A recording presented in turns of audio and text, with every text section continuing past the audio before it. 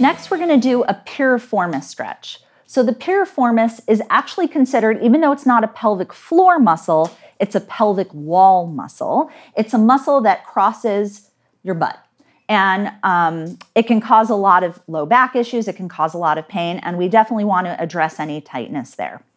So, Rachel, what I'm going to have you do is bend both knees up. And there's two different ways to do this stretch. I'm going to show you both ways. One might be more comfortable than the other, especially if you have any issues with your hips. So I'm going to have you cross one leg over the other.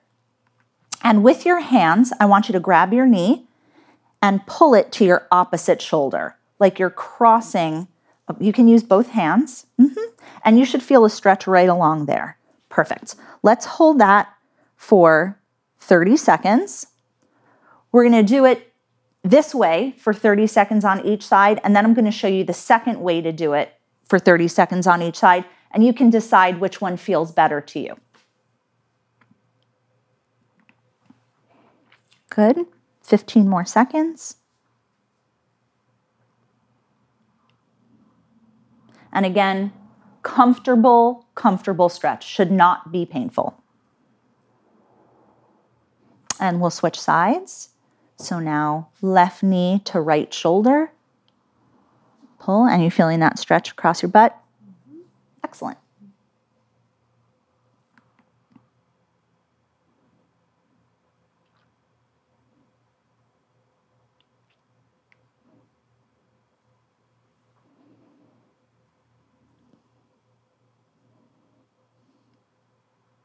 Three more seconds. Beautiful. Okay. So now the second way to stretch the piriformis muscle is also called a figure four stretch.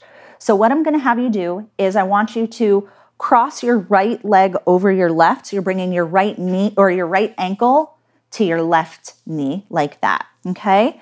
And then with your hands, I'm gonna have you grab behind there, yep, and you're gonna pull towards your chest. And again, you should feel a stretch along that right cheek, okay? Let's hold for 30 seconds here. Now, again, for people who have any type of hip joint issues, doing the piriformis stretch this way might be a little bit more comfortable. So you can play around with it at home and see which one feels better.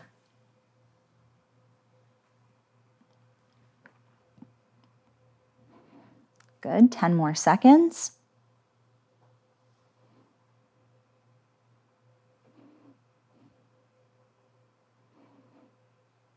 Excellent. And let's switch sides. So now you're going to cross. Beautiful. And then pull right knee towards your chest. And we'll hold that for 30 seconds. And you should feel that stretch in your left butt cheek.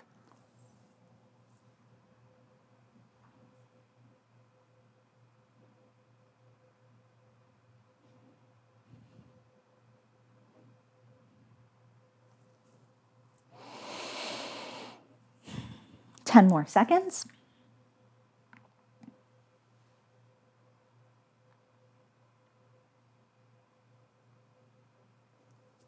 Perfect. Go ahead and rest.